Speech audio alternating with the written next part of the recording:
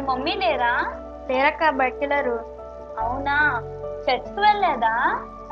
ఎందుకు వెళ్ళదు వెళ్ళానక్క. ఏంటి అప్పుడే అయిపోయిందా? ఆ, మీ చర్చెస్ లాగా మా చర్చెస్ ఏమి గంటల తరబడి ఏమి ఉండవు.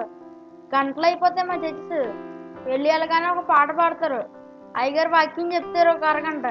అయిపోయిన తర్వాత ఇంటికి పంపించేస్తారు. అయినా మీ చర్చెస్ లాగా మా చర్చెస్ ఏమి రేకుల చెట్లు కాదు. మా ఈ పెద్ద పెద్ద చర్చిలు. సెంట్రల్ ఏసీ చర్చిలు. అదేంటి? మీ చర్చిలో ప్రభు బళ్ళు ఉండదా? ఎందుకు ఉండదు ప్రతి నెల ఫస్ట్ వీక్లో మా చర్చిలో ప్రభుబాలార్థన జరుగుతుంది. ఏంటి? నెలకొకసారా? అది వాక్యానుసారం కాదు కదా. ఏంటి? వాక్యానుసారం కాదా?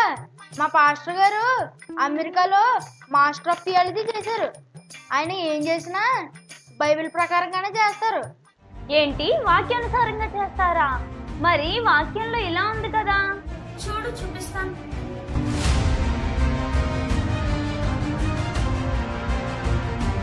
అపోస్తల కార్యములు ఇరవై అధ్యాయం ఏడవ వచనంలో ఇలా ఉంది. ఆదివారమున మేము రొట్టె వేచుటకు కూడినప్పుడు.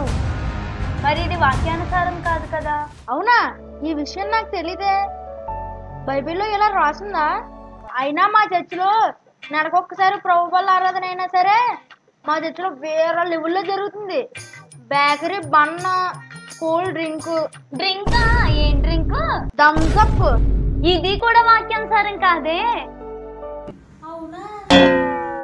అవును మొదటి కొరింది ఐదు ఎనిమిది ప్రకారం పులిసిన పిండి పాపానికి సాదృశ్యమని ఉంది. మరి మన ఏసయ్య పరిశుద్ధుడు కదా. ఆయన శరీరాన్ని పులిసిన పిండితో చేసిన బేకరీ రొట్టెగా తీసుకోవడం ఏంటి అది వాక్యానుసారం కాదే. అవునక్క నీకు ఈ విషయాలని ఎలా తెలిసాయి?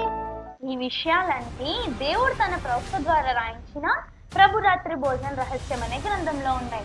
ప్రభురాత్రి భోజనం విషయంలో నీకున్న ప్రతి ప్రశ్నకు ఈ బుక్లో సమాధానం దొరుకుతుంది.